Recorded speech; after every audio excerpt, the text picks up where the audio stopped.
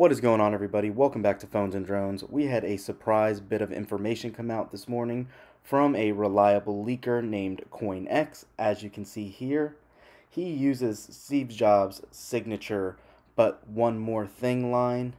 And this is in relation to next Tuesday's event.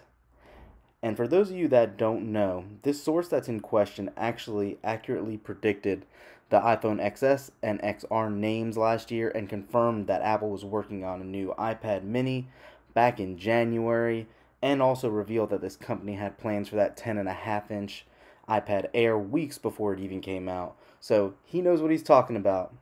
Now, what's interesting though, for those of you that are not really up to par with what AR is, Apple is looking to create a new AR glasses.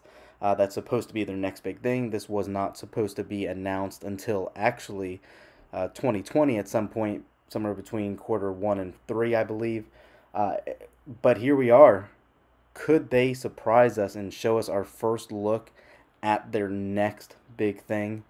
That line that we just explained is not used for everyday products. It is for revolutionary product changes and new product categories such as um, when the Apple Watch came out and stuff of that nature. So it'll be really curious to see if they give us a first look next week in regards to these glasses. As you can see here as well, here's some samples from a video game that is able to be played in AR now. I think it's pretty neat looking. I think there is potential to go through the roof for this. Is this something you guys are excited to see?